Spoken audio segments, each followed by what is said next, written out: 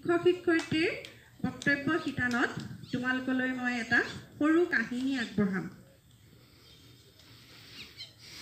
এজন সৰু ল'ৰা আছিল। ল'ৰাজনে এদিন দেউতাকক প্ৰশ্ন কৰিছে যে দেউতা আমাক এই শাসন অনুশাসন এইবিলাক কিয় লাগে? এইবিলাক কিয় থাকিব লাগে? দেউতাকে সেই সময়ত ল'ৰাজনক কোনো উত্তৰ নিদিলে। উত্তৰ নিদি দেউতাকে ল'ৰাজনক ক'লে ব'লা আমিও চাদৰ ওপৰলৈ গৈ চিলা উৰুৱাওঁগৈ। দেউতাকে পুতেকে চিলা উৰুৱাত ব্যস্ত হৈ পৰিল। ধুনীয়াকৈ সূতা টানি ল'ৰাজনে চিলা উৰুৱাবলৈ ধৰিছে। চিলাখন বহুত ওপৰলৈকে ধুনীয়াকৈ উৰি গৈছে। তাকে দেখি ল'ৰাজন খুব আনন্দিত হৈছে আৰু চিলাৰ মাজত সোমাই পৰিছে। চিলা উৰুৱা কাৰ্যটোৰ মাজত তেওঁ লাহে লাহে সোমাই যাবলৈ ধৰিছে। তেনেকুৱাতে দেউতাকে চিলাৰ ৰছীডাল কাটি পেলালে। তেতিয়া ল'ৰাজন আচৰিত হৈ দেউতাকক সুধিছে যে দেউতা তুমি ৰছীডাল কিয় কাটি দিলা? ইমান ওপৰলৈ উৰি থকা চিলাখন এতিয়া তললৈ নামি আহিবলৈ ধৰিছে। তেতিয়া দেউতাকে ধুনীয়াকৈ ল'ৰাজনক কাষলৈ চপাই আনি ক'বলৈ ধৰিলে যে তুমি যে অথনি প্ৰশ্নটো সুধিছিলা আমাক শাসন অনুশাসন এইবিলাক কিয় লাগে এতিয়া তুমি নিজে বুজি পাইছানে?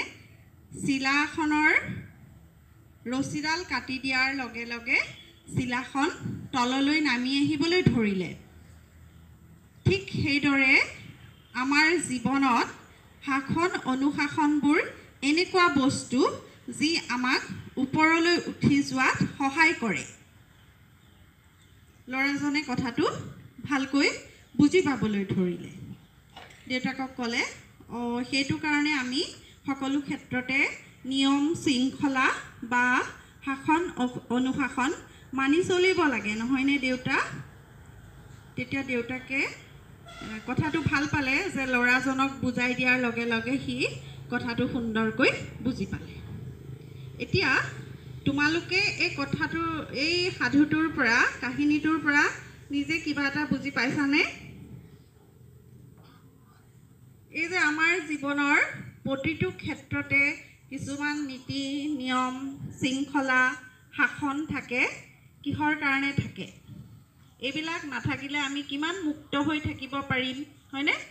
কিন্তু সকলো ক্ষেত্ৰতে যদি আমি মুক্ত কৰি দিওঁ তেতিয়া আমাৰ সমাজখন আমাৰ জীৱনটো পৃথিৱীখন বিশৃংখলেৰে ভৰি পৰিব। গম পাইছা? সেইকাৰণে সকলো ক্ষেত্ৰতে আমি নীতি নিয়ম মানি চলিবলৈ চেষ্টা কৰিব লাগে। বিদ্যালয়ত থাকে ঘৰত থাকে হয় নহয়? অন্য সভা সমিতিটো নিৰ্দিষ্ট নীত নিয়মৰ মাজেৰে চলিব লগা হয়।